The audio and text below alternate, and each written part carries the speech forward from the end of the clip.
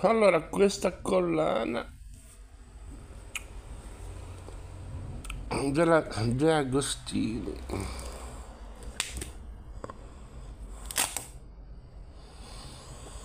Si chiamano documenti d'arte. Sono adesso così a occhio e croce non saprei dire 10 12 volumetti questo affreschi dei Tiepolo nel Veneto di Carlo Sgorlone.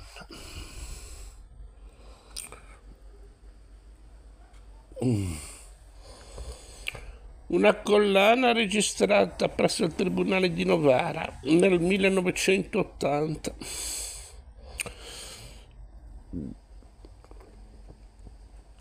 Istituto Geografico De Agostini 1982.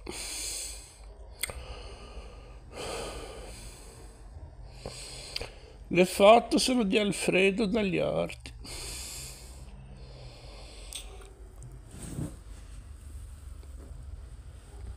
Visionari e realisti senza riposo. Senza posa.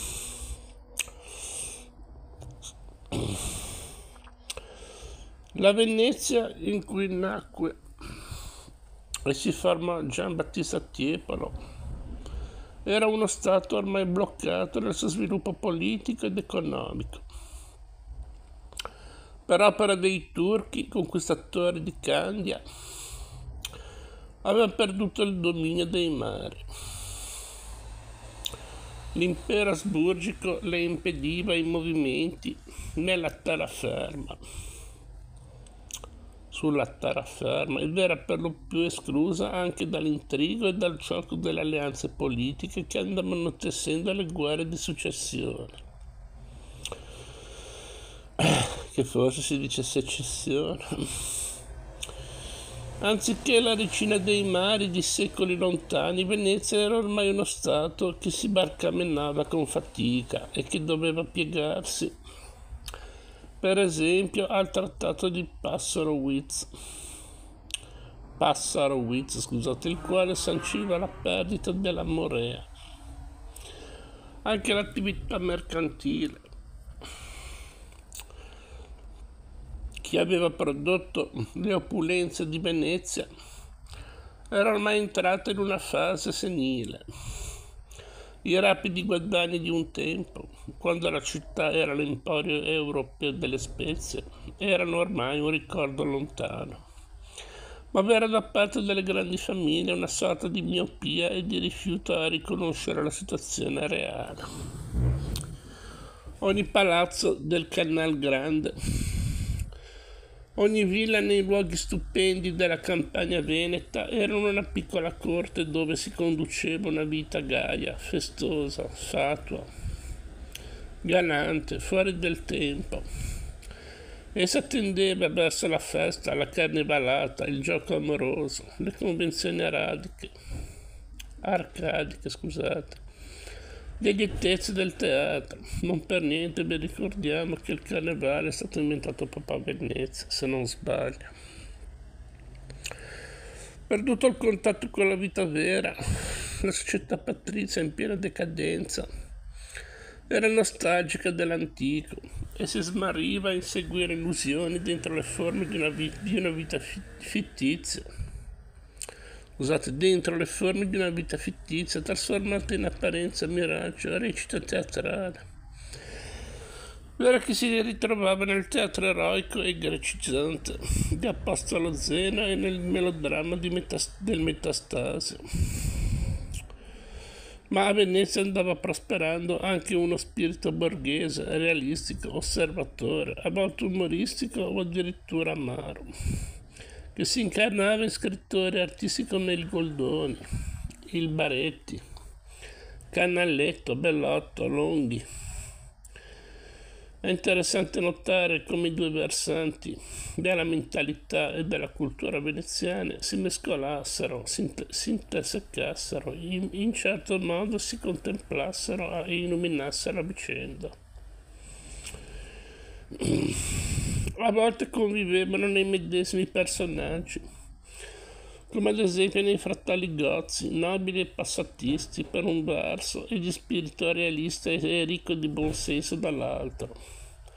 A volte si riflettevano in una stessa famiglia di artisti, come nei Tiepolo. Se infatti il padre Giambattista possedeva il gusto teatrale della messa in scena grandiosa, dell'eroico e del sublime, suo figlio Gian Domenico, pittore di maschere e di disperati pulcinella. Era un osservatore disincantato e grottesco della realtà Quasi tutta la vita di Giambattista Tiepolo si collocò sotto l'insegna della fortuna e della prosperità. Il vento del successo e dell'opulenza gonfiò costantemente la vela della sua attività, che non conobbe quasi mai restagni, battute d'arresto, decadenze. Abbastanza fortunato fu persino la sua famiglia, che abitava in una casetta alla corte di San Pietro di Castello, successivamente demolita il Tiepolo vi nacque probabilmente il 5 marzo del 1696. Dopo altri cinque fratelli, il padre Domenico era mercante e comproprietario di navi mercantili, certo. Doveva essere in buone relazioni con il patriziato veneto, se padrini dei suoi figli furono dei Donà e dei Mocenigo. Egli morì precocemente, ma lasciando la vedova Orsola ben provvista di beni di fortuna. Non ci fu la miseria nell'infanzia del, del Tiepolo. Ne ritroviamo la riprova nel fatto che nella sua pittura non compaiono quasi mai gli aspetti squalidi e cenciosi del bisogno, e in essa persino i bravacci, i carnefici e i manigoldi paiono appartenere sempre alla classe dei patrizi.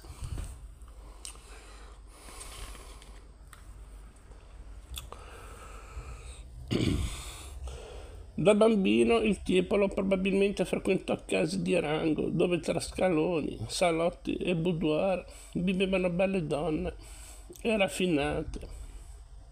Scusate, vivevano donne belle e raffinate, patrizi dagli abiti eleganti e la parrucca incipriata e paggi ben pasciuti che indossavano colorite livree.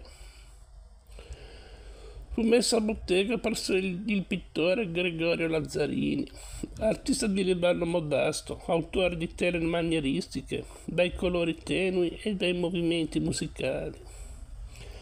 È pertanto gradito alle classi dominanti, ma il giovane Tiepolo scelse i suoi veri mastri dalla, da un'altra parte, nel Benkovic, nel Piazzetta.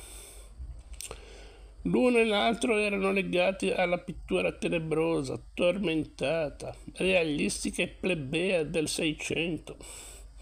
Avevano maniere vigorose, violente, estrose. Il Piazzetta, in particolare, era legato alla scuola bolognese, allora molto in auge, e in particolare nel Guercino.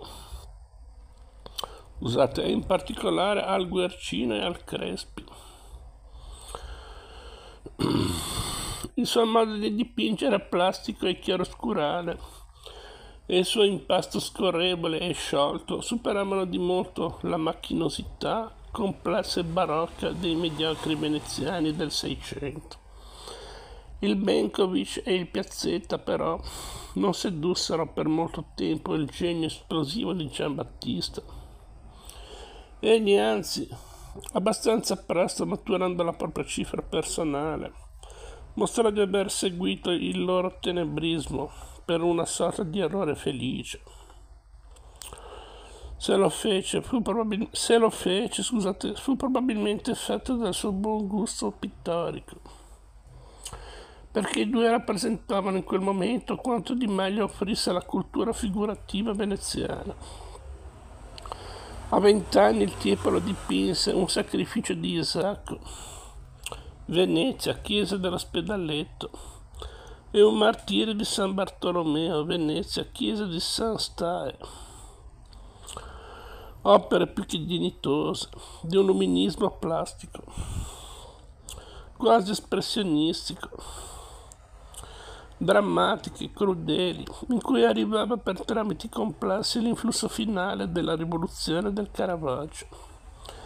Erano gli ultimi fuochi della gran pittura realistica del Seicento, che il tipo lo faceva suoi prima che cominciasse la sua grande stagione di pittore luminoso, decoratore e celebrativo.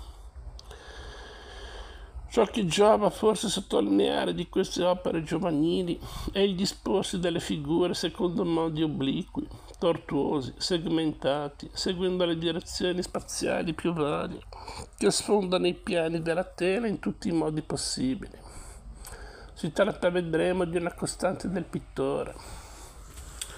La maturazione del tiepolo comporta progressivamente un cromatismo più chiaro e sereno Fu soprattutto lui a personificare la grande svolta pittorica del Settecento, che consistette nell'abbandonare le cupezze controriformistiche del secolo precedente, cari- cariche di complessi religiosi e di sentimenti di colpa, e nel conquistare una tavolozza più ariosa e più fresca. Con lui la pittura abbandonava le tenebre del- della notte percorse da sospetti di violenza e di misfatti. Percorrere verso i cieli tersi e le nuvole di perla. Si liberava dalle ossessioni tenebrose dei caravaggeschi e dal realismo accademico del Seicento veneziano per avvicinarsi a una luminosità nitida e solare, faceva proprio la gaiezza chiara di una tavolozza briosa e trasparente. L'ultimo omaggio al piazzetta sembra essere la Madonna del Carmelo, Milano, Brera, in cui i modi del maestro sono visibili soprattutto nelle figure. Ma il pennello di Tiepolo cominciava a rivelare la velocità di esecuzione, la leggerezza rapida e scenografica della sua grafia e del suo tocco, che saranno poi una delle caratteristiche del suo stile. Esse rivengono dall'impetuosità del temperamento, dall'ansia di fare in fretta, di realizzare lo sterminato mondo di immagini che urge nella sua fantasia.